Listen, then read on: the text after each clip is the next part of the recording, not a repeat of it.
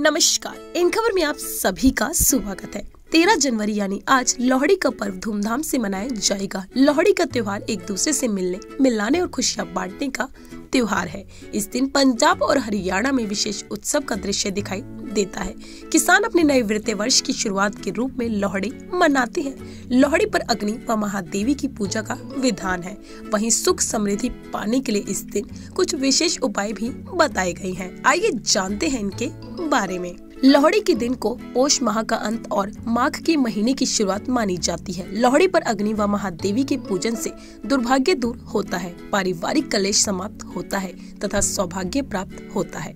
लोहड़ी पर ज़रूर करें ये पाँच काम। पहला, सुख समृद्धि पाने के लिए महादेवी पर रेवड़ियाँ चढ़ाए। बाद में इन्हें गरीब कन्याओं में बांट दे। दूसरा, गरीबों को गुड़ और तिल का दान करने से सौभाग्य की प्राप्ति होती है। तीसरा, लोहड़ी पर काली गाय को उड़द और चावल खिलाने से पारिवारिक कलेश से मुक्ति मिलती है।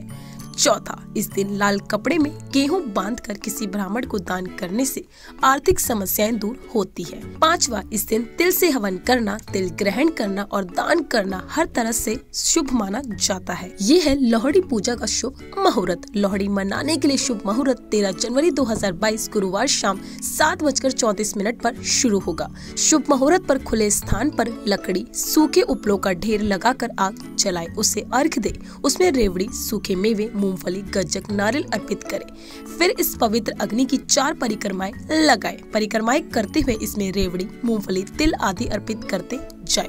दुल्हन और बच्चे की पहली लोहड़ी पर उन्हें कपड़े भी उपहार में दिए जाते हैं। ज्योतिषाओं के मुताबिक लोहड़ी पर पश्चिम दिशा की ओर एक दीप जलाकर देवी पार्वती की पूजा करना चाहिए। इससे देवी प्रश्न होती हैं। लोहड़ी पर इस विधि से करें पूजा। पहला घर की पश्चिम दिशा में पश्चिमी मुखी होकर काले कपड़े पर महादेवी का चित्र स्थापित कर पूजन करें। दूसरा सरसों के तेल का दीपक जलाएँ, लोहा बाँध से धूप करें सिंदूर चढ़ाए बेल पत्र चढ़ाए रेवड़ियों का भोग लगाए। तीसरा, सूखे नारियल के गोले में कपूर बांधकर अग्नि प्रज्वलित कर।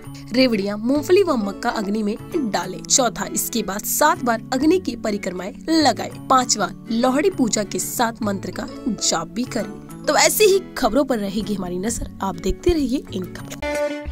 इन खबर चैनल को सब्सक्राइब करें